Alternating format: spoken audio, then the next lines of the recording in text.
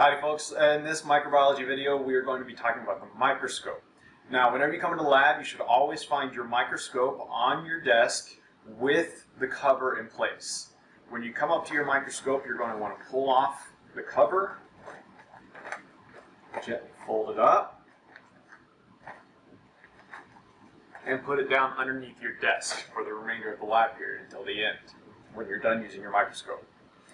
When you're working with your microscope, first thing first, you always want to make sure that you never scoot the scope across the table. The microscope has a bunch of carefully placed lenses that if it scoots across this counter surface, the microscope will vibrate and potentially knock those out of balance, and thus you won't be able to see any of your images clearly. The other thing you're going to want to notice as you come in to avoid that is that with the microscope we have the arm here and the base. Anytime you move your microscope, you need to pick it up by the arm and the base.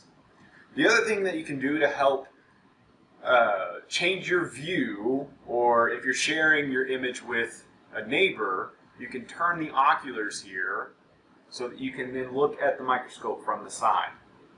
Okay? So that is how you handle your microscope. After you pull your cover off, the next thing you're going to want to do is to plug your microscope in. You can see that the wire, the cord is wrapped around and the outlet is right here. Simply plug it in. Alright? From that point on, you want to, depending on your microscope, find your light switch and turn on the light. You don't need a ton of light the more light you have, you, you actually get a blurrier or less clear image. So the less light you can get by with, the better when using a microscope. Once you turn the light on, then you want to make sure that your knobs are working cleanly and there's no catches on the knob. And you want to make sure the mechanical stage is moving smoothly.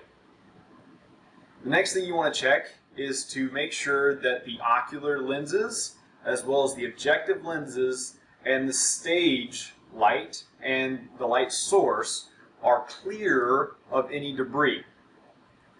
You will find one of these two types of lens papers in your assigned lab drawer where you can tear out a piece of lens paper. You can either take a full sheet, partial sheet, whatever you need,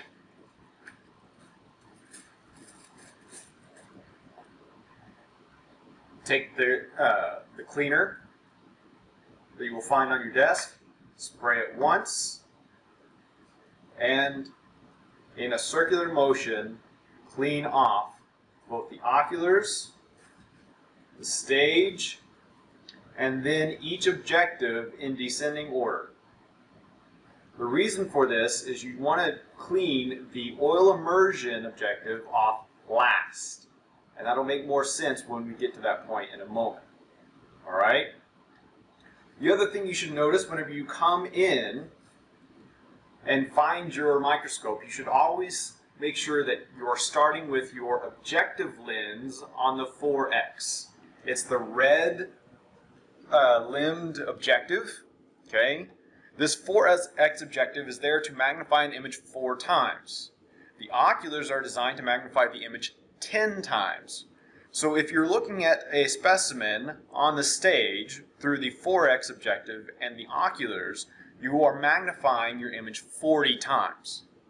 We then have a 10x objective that you can get to just by rotating the nose piece. And when you rotate the nose piece, you'll notice there's, there's a slight click. It sets into place. And you want to make sure it's clicked into place for imaging. If it's slightly ajar, you're not going to have light passing through very clearly, and you will see a black image. And then you'll raise your hand asking us why you can't see anything, and we'll come in, tweak it just a little bit, make sure it's set in place, and then you'll be like, well, I could have done that myself.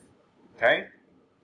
So, once you lock in your 10x, now you can look through a 10x and your 10x oculars, and now you've magnified your image 100 times.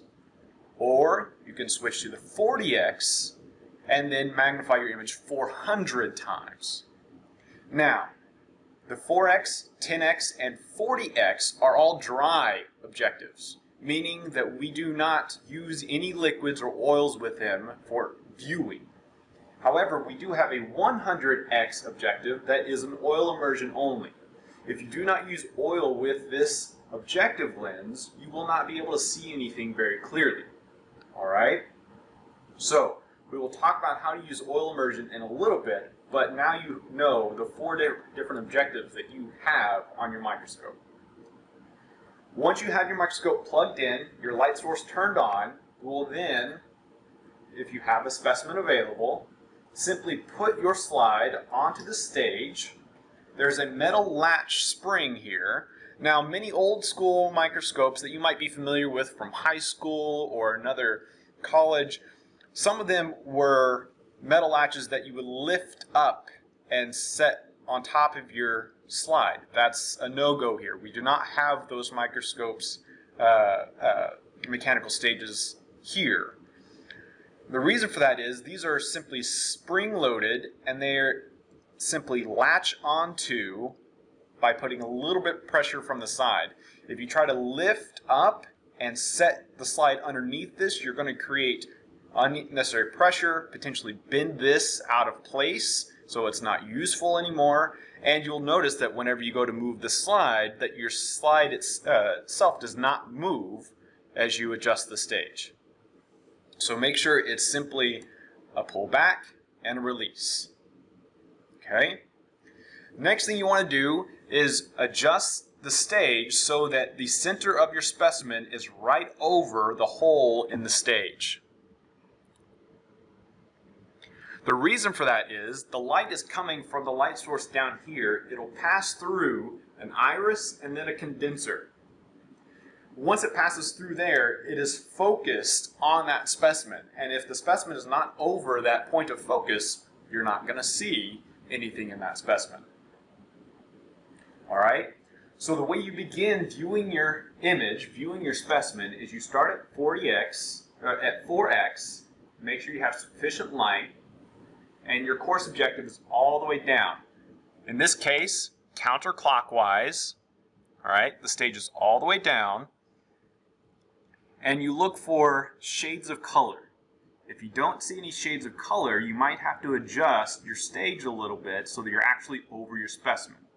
Sometimes you won't see any shades of color, so it's you have to kind of eyeball it, make sure you're somewhat in the middle. At that point, you simply slowly change the coarse objection, coarse objective knob until you start to see color come into focus and then once you get into focus, you stop. The only time you use the coarse objective knob is when you have the 4x objective in place. After that, you never touch the coarse objective knob again. All right? So, we kind of see our image in focus. Now we're going to fine tune that focus with the fine adjustment knob. It's on the side of the coarse adjustment knob. All right? So that fine adjustment knob, you rotate until you get a clear image of your specimen. And sometimes it can be a little bit more than you expect, but keep going, you'll get a nice clean image. And then at that point, you get a nice big overview of what your specimen looks like. But in microbiology, we're going to be looking at small specimens, at bacteria. And so 4x is often not going to be sufficient. We're going to have to get closer. We're going to have to magnify our image. To do that, we have these objectives where we can simply rotate on the nose piece a new objective into place that magnifies our image. The nice thing about how these microscopes are set up is that these objectives are what we call parfocal, meaning that what was in focus with our 4x is going to be in focus with our 10x. You do not have to significantly adjust your focus when you change an objective. So, once you have your 10x in place, simply look through the microscope and do a little bit of fine tuning to make sure that you have a clear image. But since we're working with bacteria, we're probably going to want our 40x more than our 10x even. So simply rotate your 40x into place, and just like with going from the 4x to 10x, going from the 10x to the 40x, we don't have to adjust the stage. However, you'll notice the 40x gets really close to the slide. However, these microscopes are designed so that you do not have to adjust the stage. All right? If you adjust the stage and drop your stage, you're going to get out of focus. And if you do that, then you're going to have to start all over. So if you look through the microscope, then you'll notice it's slightly blurry, so you do a little bit of fine tuning to find where you want to be in your focal plane. Notice I'm barely moving the fine adjustment knob. It doesn't take a whole lot if you've done things properly up to this point. Okay? Now, again, we're working with bacteria. Some are super tiny. So you will have to go even further from the 40x and go all the way up to your 100x oil immersion. Now, again, just like before, you'll notice that the 100x does not collide with your slide.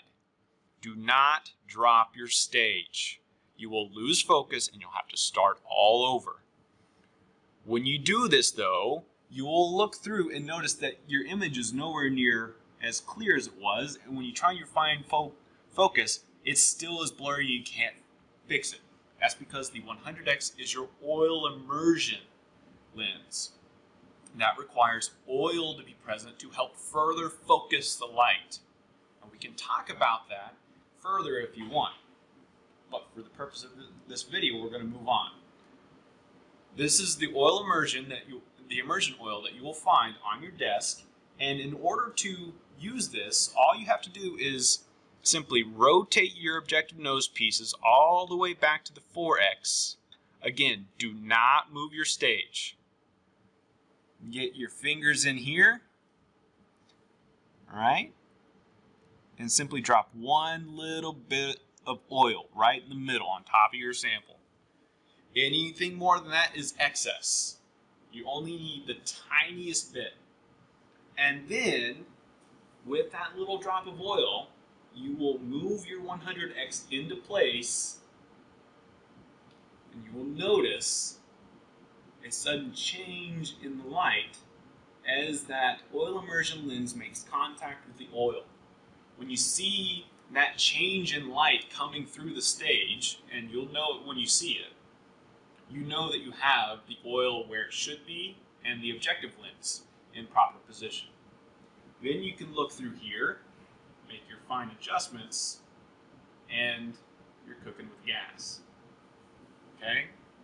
So, now this is how you use the microscope. What do you do in between slides or when you're done using the microscope? When you're done with a given slide, the first thing you want to do is drop the stage all the way down using the coarse objective, uh, coarse adjustment knob turn the nose piece back to 4x, remove your slide, and if you used oil, take one of your lens papers and simply clean it off.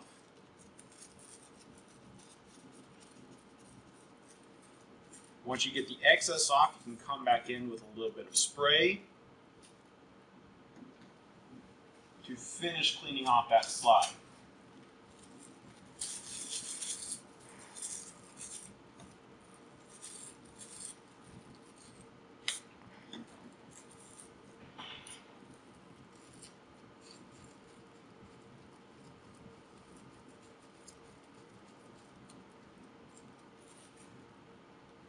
And then you do the same thing with your 100X. You come in, and you clean off that objective. And you're going to come in with dry pieces of lens paper until you see it wipe clean. You do not want any oil left on this objective. If you leave oil behind, it will dry out, cake on the lens, and make it that much more difficult to see things the next time. Once you have your slide off, you can then restart the process of putting a new slide on and making your way through the 4x, 10x, 40x, and then even all the way up to the 100x once again. If you're done with your microscope, what you want to do is then turn off your light source completely, unplug your microscope, rewrap the cord for the next person, come in behind you, get it secured as best you can. Make sure the stage is all the way down, and then grab your cover that you put underneath your desk and simply get it put back on. At this point, throw away your waste lens paper, get your lens paper booklets put back into your uh, lab drawer, and deal with slides as assigned.